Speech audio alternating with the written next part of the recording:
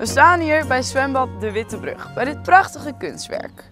Je ziet hier het kunstwerk van Jan Snoek. Deze is gebouwd in 1974 en deze is van keramiek. Wat zien we hierin? Ik zie hier zelf een soort worm in, maar je zou ook kunnen zeggen een piemel, het mannelijke geslacht. Daarachter zie je een soort van tiet. Dit is misschien een beetje raar om te zeggen, maar goed.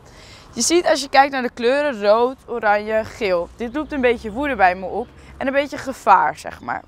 Bij de tiet zie je vrolijke kleuren, maar je ziet ook wit.